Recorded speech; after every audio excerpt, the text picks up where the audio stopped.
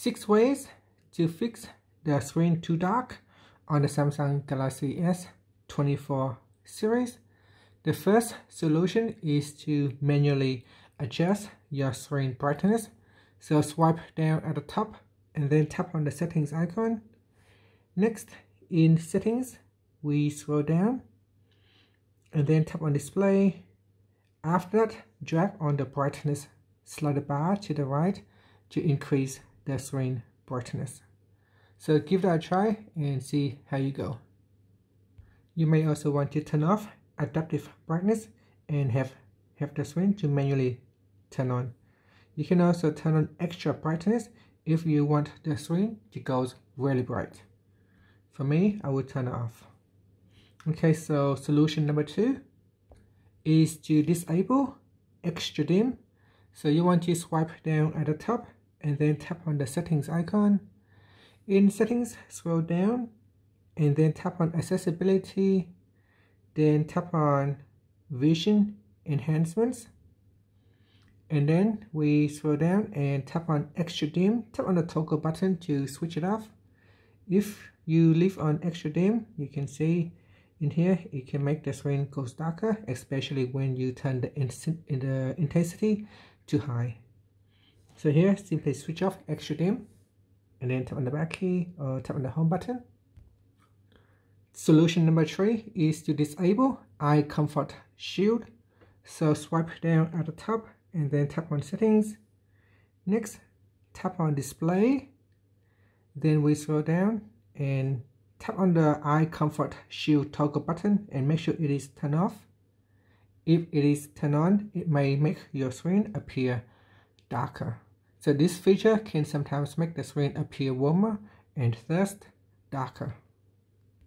Solution number four is to check for software updates. Ensuring that you have the latest uh, software as updates often fix display bugs. So to do that, we first go back to the settings menu. Then in here, we scroll down and tap on uh, software update. So let's scroll down here, tap on software update and then tap on download and install. Now you can see I already have one update to perform so I can choose schedule install or install now. I will not install now because we're in the middle of the video. So let's go back to the home button. Uh, sorry let's go back to the home screen by tapping on the home button. And then we go to solution number five which is adjust the screen mode.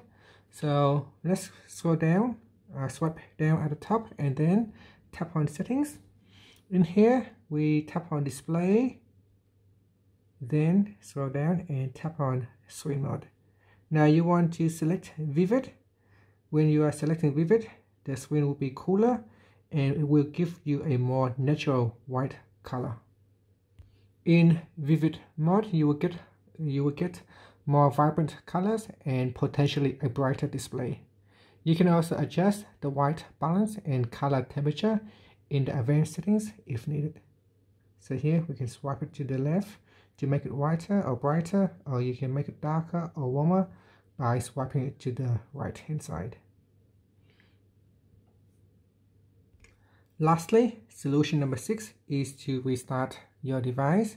So what you can do is swipe down at the top twice, then tap on the power button then tap on restart and this will allow your phone to restart.